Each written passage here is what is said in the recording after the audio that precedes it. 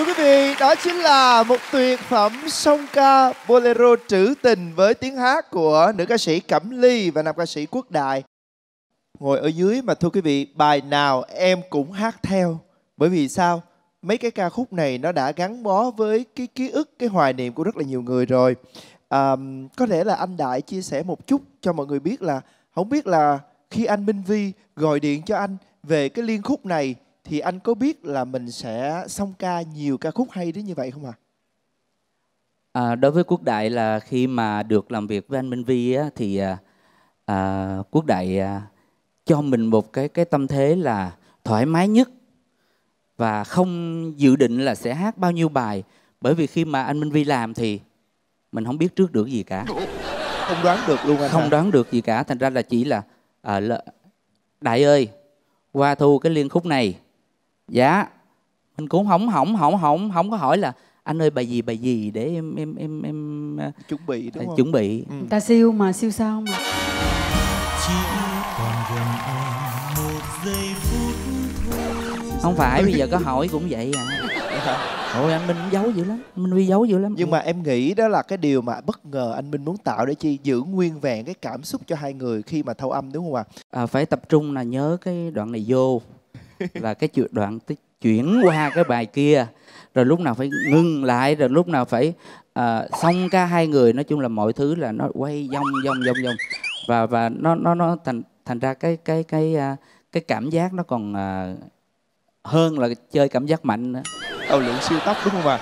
Còn à, chị à, Cẩm Ly thông thường thì mỗi lần mà chị song ca trên sân khấu thì sẽ có những cái đoạn mà mình sẽ phải nắm tay mình thể hiện cái cảm xúc không biết là ông xã có hay ghen khi mà chị thể hiện những cái trữ tuyệt phẩm trữ tình không? Sao ông hỏi? sẽ ở trên ông. Biết gì có không? Hỏi cái đó bắt thừa thứ nhất là à, nếu mà lên sân khấu mà khi mình mình trình bày một cái bài hát một cái tác phẩm mà mình không không lúc đó mình không có làm mình dạ. mình là nhân vật thì nó mới được trọn vẹn cái cảm xúc và cái tình cảm, cái nội dung trong đó nó mới chuyển tải đến khán giả được. Mà đối với ly khi lên sân khấu nếu mà cứ trơ trơ ra hát mà sợ đằng sau về những cái vấn đề đó thì không thể nào mà các bạn nhập tâm và không thể nào hát cái bài nó ra hồn gì hết.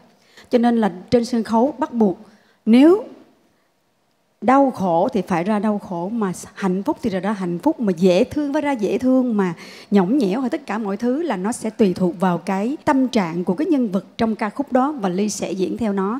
Còn cái vấn đề mà làm nghệ thuật, ly cũng nói một lần nữa với tất cả các thí sinh của mình, khi mình bước chân vào là mình mình làm nghệ thuật thì không có cái chuyện mà cái người bạn đời của mình mà có cái chuyện mà ghen tuông đó thì không bao giờ các bạn làm được, không bao giờ được tại vì thí dụ như các bạn thí dụ là ca sĩ thì còn đỡ còn một diễn viên một à, diễn viên bên kịch một diễn viên bên một nghệ sĩ cải lương. Nếu mà bạn cứ như vậy làm sao mà bạn diễn được cái vai diễn của bạn? Bạn chỉ có độc nhất là bạn diễn những cái vai nào mà có một mình ơn thôi không có tình cảm tình yêu tình gì hết trơn thì không được. Cái đó là phải bỏ qua một bên. Và cái thứ hai nữa là mình lên sân khấu mình là một nghệ sĩ mình diễn theo cái bài hát. Chứ mình đâu có làm gì bậy bạ đâu mà mình sợ. Mình có làm gì bậy bạ đâu mà mình sợ. Mình đâu có làm gì bậy bạ đâu mà mình sợ. Đúng rồi dạ. mình không mình không cảm thấy tự thẹn với lòng mình thì mình không có gì phải sợ hết. Đúng rồi hoàn toàn đồng ý. Mà có nắm tay thôi có gì đâu sợ. Có nhiều khi nữa nè? Nhiều khi là nắm tay hoặc là ôm là do cái cái ông đó ổng kêu làm luôn á à, ổng kêu làm ông luôn đó, đó là ờ. cái ông cái ông. Cái ông mà đầu diễn ông đạo diễn ra cái mv á ổng kêu làm đó. Ừ. Ờ, dạ thưa quý vị mắc mới gì ông mắc mới gì mình phải sợ nhỉ? đúng rồi dạ. Do ổng chỉ đạo cho nên ổng không thể nào ghen tôi được. Vâng bây giờ đây thì à, cho khang hỏi tí xíu nãy giờ là mình đang mình nói những cái lời ngọt ngào giới thiệu về nhau. Bây giờ thử phút giây thử kể tật xấu của nhau tí xíu trên sân khấu đi. Bây giờ là bao nhiêu năm hát chung với nhau rồi thì không biết là anh quốc đại anh có cái cái có cái kỷ niệm nào về một cái tật xấu nào đó của chị Cẩm Ly mà anh có thể tiết lộ nho nhỏ cho mình em thôi không? Cho ai biết hết được không? có nói đi. Sao đâu? Ôi chị nói vậy anh sao dám không nói? không. Chị nói vậy anh không dám nói không, luôn nói thật tình. Chừng nào mà vô bài có anh nói đi. À, có thì không có nói đi sao Không. đâu? Thì cứ nói đi thiệt mà. Có nói đi sao đâu không thiệt À, sao nói thiệt đi. nói? Nhưng mà nè, là chị hứa là lần sau nếu mà có nói là chị vẫn cho anh hợp tác hát chung.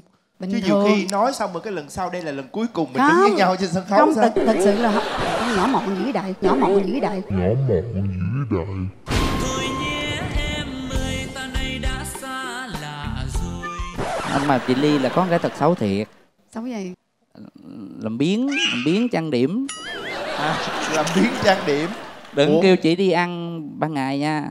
Không có trang điểm đâu. Ủa vậy là lúc đó là sao? Rồi chỉ đeo khẩu trang chỉ đeo kiến đen rồi chị tràn vô quán hay sao? Anh anh đại có nhớ là trong cái đoạn clip đó anh à, hoài linh ảnh nói là anh vô nhà của chị mà anh không biết đây có phải là chị ly không? Đó là tại vì sao? Không nhận ra được người phụ nữ của chúng ta. Chị ly Hử? tại sao mình phụ nữ mà mình lại lười trang điểm chị? Không phải ở nhà là khác đi ra ngoài đường là khác nhưng mà tại vì à, ly nói là cách sống cách suy nghĩ À. của mỗi người. Đối với ly thì à, dĩ nhiên bao giờ chúng ta trang điểm lên nó cũng đẹp nó cũng lộng lẫy hơn. Tại vì áo quần trang sức tất cả mọi thứ nó sẽ làm nó tôn lên mình đẹp ai cũng thích. Nhưng mà ly bị một cái bệnh thật sự rằng ly thích sự thoải mái nhiều hơn là thích đẹp. Tức là Ly nghĩ là lên sân khấu tất cả phải đều chỉnh chu. Trước mắt khán giả mình là người của công chúng thì Dạ. trang điểm tóc tai quần áo đồ. Mặc áo dài vô là chúng ta phải đi khép nép nhưng mà ở nhà thì tại Ủa, sao? chị khép là vậy?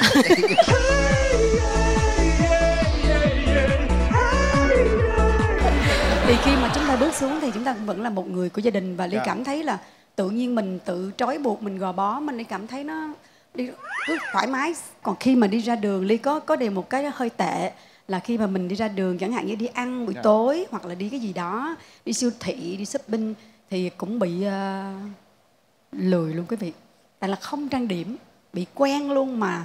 Cái này thì à, Không ly sao. nghĩ rằng nó thành cố tật rồi, Cố tật rồi. À, từ cái thời mà ly còn con gái ba mẹ ly nói cho đến hà phương minh tuyết nói sau này ông xã nói nó cũng u như kỹ không. Thay đổi được. Bây giờ tới chị cẩm ly. Thôi thôi À, khỏi đi. Ủa, sao nhiều anh? lắm nhiều lắm. Nhiều lắm hả? Ừ. Bây giờ em kêu Nó- kể một cái chứ em đâu có kể mười nói cái chị ly đâu. mà kể quốc đại thôi nhiều lắm. Tâm nói tới mai á thôi đừng kể đừng Kể, không có thực ra thì đại trời ơi. Không có cái gì hoàn hảo. Đẹp người đẹp nết mà không phải có gì hết trơn người đẹp đó anh đại em biết có một cái tật xấu quả tật xấu gì? Ăn nhiều hả? Ăn nhiều hả?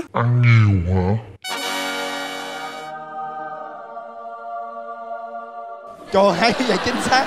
Anh đại anh rất mê ăn cái gì à? Đây. Rồi một cái hình tượng không bao giờ ly có thể quên được mà mà mình cảm thấy mình thèm thuồng luôn đó. Có nghĩa là đặc biệt khi đi đi ăn tiệm thì không nói nha, không nói tại vì ăn tiệm mình sẽ nhìn đối diện, nó không có rõ bằng. Nhưng mà khi lên máy bay á, mà ngồi á, thì ghế chúng ta sẽ ngồi. Ví dụ như ly ngồi vậy thì đại sẽ ngồi bên cái dãy bên kia, phải không? Đặc biệt, ngủ cỡ nào cũng ngủ. Hãy đúng bon giờ ăn dọn lên là mắt mở ra. Thế là nhìn ra nhiều khi ly thì ly đi sân đi máy bay không bao giờ ly ăn được đồ ăn máy bay hết trơn không có ăn. Chỉ mở ra rồi ăn mấy cái à, rau cải hoặc là trái cây thôi còn hoàn toàn đồ chính không bao giờ ăn. Mình nhìn qua đại nha. Giờ nhớ hình ảnh nó hiện lên nè. Nhìn cái nhìn cái miệng đó quý vị. Ngon miệng lắm. Nó ngon lắm Dạ. có nghĩa là không phải là mình nói người ta ham ăn mà phải nói là mình nhìn mình thấy cái cách ăn người ta người ta thưởng thức, Thưởng thức. thèm thuồng mình chính thấy xác. ngon lắm mà không còn một cái gì trong cái phần ăn nó luôn làm vị chứng. biết không? Em đó. làm chứng ông tràn qua cái nhà hàng chả cá của em. Ừ. bình thường nha quý vị một người ăn một phần anh đại anh ăn ba phần thêm hai cái bao tử nữa. Dạ. Cho nên là đây là một cái cái đặc tính rất không là thú vị. cái đó Dạ. cũng là một cái cách thưởng thức nhưng mà ăn thấy ngon chứ như mình ăn giống như là người ta dùng từ đó hay dùng từ là sống để ăn. Ở đây là ăn để sống là để vô cho nó có có có nạp vô thôi chứ ăn không có thấy ngon. Thì bởi vậy mới mà body vòng nào vòng đó nó chuẩn vậy nè. Thưa quý vị bây giờ thì à, thật ra là nói kể xấu để thấy là hai người thân với nhau đến nhất mức nào để mà có thể hòa quyện với nhau trên sân khấu. Và hôm nay thì để cảm ơn cho nam ca sĩ Quốc Đại một người bạn đã đồng hành cùng với nữ ca sĩ Cẩm Ly từ rất là lâu rồi. Thì nữ ca sĩ Cẩm Ly cũng có một cái kỷ niệm chương một cái món quà nhỏ để gửi đến anh thay cho lời cảm ơn anh. Của anh anh anh mắc cỡ ha mắc cỡ anh Đại. Không thực sự thì à, anh hơi à, hơi ngại. Dạ. bởi vì à, khi mà tự nhiên nhắc đến là được được làm việc với chị Ly đó là một cái may mắn. Có thể nói là một cái may mắn rất lớn của Quốc Đại. À, và tự nhiên nhắc lại thì nhớ cái khoảng 2 để 6 thì à, có thể nói là Quốc Đại là định không theo nghề nữa nhưng mà chính chính à, anh Minh Vi và chị Cẩm Ly đã à, giữ quốc đại lại giữ quốc đại lại với công việc ca hát. À, đối với quốc đại thì được làm việc với chị ly đó là một cái cái cái niềm hạnh phúc rất lớn rồi.